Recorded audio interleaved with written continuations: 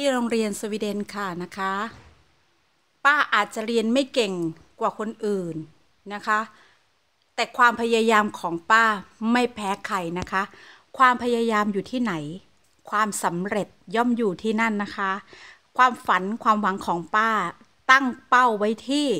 มหาวิทยาลัยที่สวีเดนอาจจะเลือกเรียนคณะง่าย ๆนะคะ คณะยากก็ไม่เข้าไปแล้วค่ะ อาจจะเป็นแค่ นิเทศก็ได้นะคะ เพราะว่าป้ามาสายนี้นะคะ โอเคนะคะ ทักทายกันนะคะจากโรงเรียนสวีเดนนะคะ สวัสดีค่ะ อย่าดูหน้ากันเลยกำลังหัวฟู